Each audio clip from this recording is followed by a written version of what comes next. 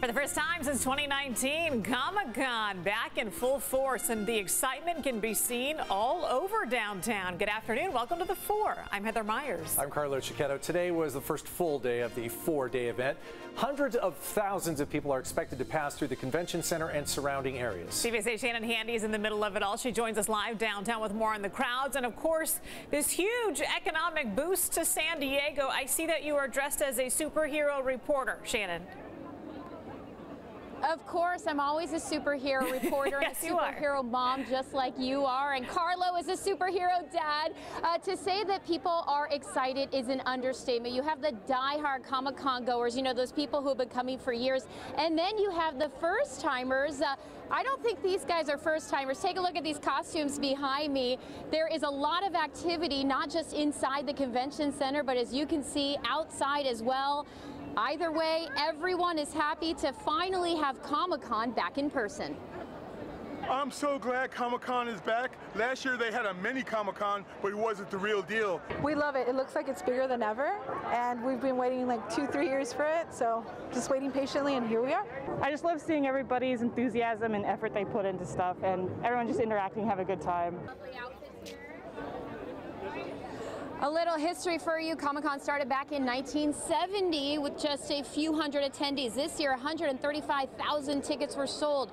But even if you're not going to the event, you can still come downtown and be a part of it. You guys just saw that in my live shot. You simply walk down the street, you check out all the people in their costumes, and there's all these pop-up activities pretty much everywhere you look. Economically, that's bringing millions of dollars to the area, both from hotel stays and what people are spending at stars, stores that is, bars and restaurants. In terms of tax revenue, revenue for the city.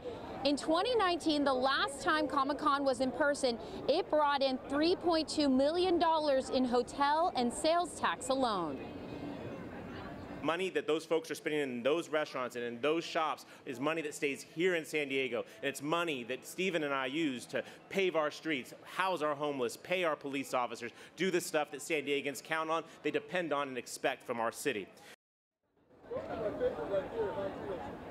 And back out here live, again, Comic-Con runs through Sunday. If you plan to come downtown, your best bet is public transportation. Perhaps consider taking an Uber, a Lyft, or the trolley because as you can see, it's very crowded. Some of the streets are closed.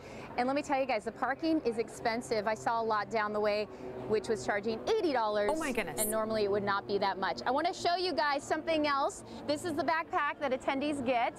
Some of my favorite characters. So if you were wondering what was on my back, every person that is attending Comic-Con who has a ticket gets one of these really cool backpacks. They can put their swag in there and keep it year round. And then I want to spin you around and show you some more costumes because, I mean, I'm telling you guys, everywhere you look, you have people like this just walking up and down the street like this is a normal thing, right? you dress like this year round. No, no. You excited? Yeah, of course I'm excited. It's yeah. Avatar. baby. He's I the know, airbender. Right? It's been like three years or so. Yeah, yeah, too much time. Well, you guys look great. Have so much fun. And you know what? And thank you for putting smiles on people's faces because these characters, people stop them all day long to ask for photos and they're all really, really patient. So it actually takes a lot of effort to come down here and dress up like these characters have done today and for the rest of the weekend.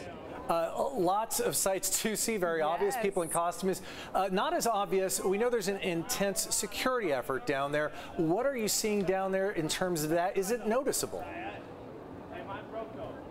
You know what, Carlo? Uh, obviously, there's going to be some undercover operations, which we are not told about. But take a look behind me. You can see the San Diego Police Department has something set up in the median there, and there are cameras on top of it. And that's not the only one down here. There's a command post just down the street. We've seen officers on bicycles. Uh, pretty much everywhere you look, there is security. But again, there's a lot of undercover stuff, which uh, we are not entitled to that information. You know, San Diego Police Department, they do work with other uh, law enforcement agencies to ensure this is a safe event. Obviously, with what has happened in the past during large events, it's a concern for many people, but San Diego Police tells us they are on top of this. And their number one tip is if you see something, say something. So if you see anything odd, make sure you find one of those closed officers and say something so that everyone is safe here this weekend. Yeah, you're surrounded by heroes, but those are the real superheroes of this event. I'm just trying to find out who's the evil villain that's charging $80 to park.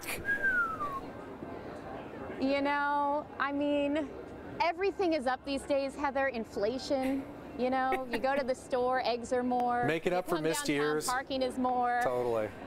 I guess, but that's why I'm telling you, take the trolley or divide an Uber with friends. Or I guess if you're gonna park in an $80 lot, make sure everyone in your car uh, gives you money for that. So, you know, Exactly. four people in your car, 20 bucks a person. Carpool. Not bad. But when you have kids like I do, I can't really ask them for money.